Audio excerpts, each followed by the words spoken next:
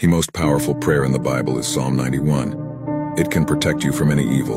Let's pray it. But first I'd like to ask you a favor. Stay until the end of this video, also like the video, and comment, Amen, here in the comments. Now close your eyes and let's pray, let's pray. He who dwells in the secret place of the Most High shall rest in the shadow of the Almighty. I will say of the Lord, He is my God, my refuge, my fortress, and in Him I will trust. For He will deliver you from the snare of the fowler and from the pernicious pestilence. He will cover you with His feathers, and under His wings you will trust. His truth will be your shield and buckler.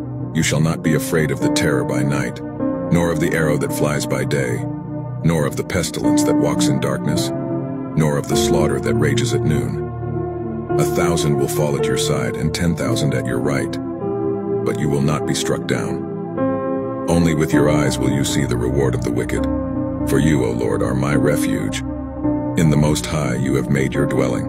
No evil shall befall you, nor shall any plague come upon your tent. For he will give his angels charge over you to keep you in all your ways. Amen. If you've made it this far, share this prayer with those you love. Be with God. Amen.